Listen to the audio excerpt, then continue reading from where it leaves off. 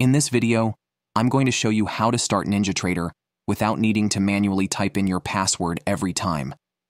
We've created a convenient method for automatically launching NinjaTrader where the password is filled in for you. All you need to do is double-click the shortcut and NinjaTrader will open directly to the control center. This feature is especially useful if you frequently restart NinjaTrader or sometimes mistype your password, risking a lockout for too many incorrect attempts. It works seamlessly across all devices, including Mac, iPhone, Android, Chromebooks, and Windows computers. Using this feature on your phone is particularly helpful.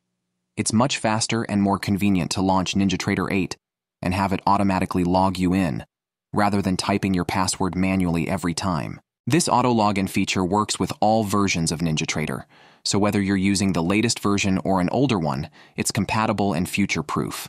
We offer this as a free value added service for our NinjaTrader server customers. If you're interested, send us an email at support at ninjamobiletrader.com and we'll be happy to help you set it up. It's quick and easy to get started.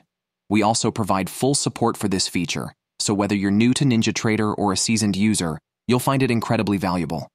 Thanks for watching this quick video on how to start NinjaTrader without typing your password every time. If you found this helpful, please take a moment to like the video and subscribe to our channel for more tools and tips.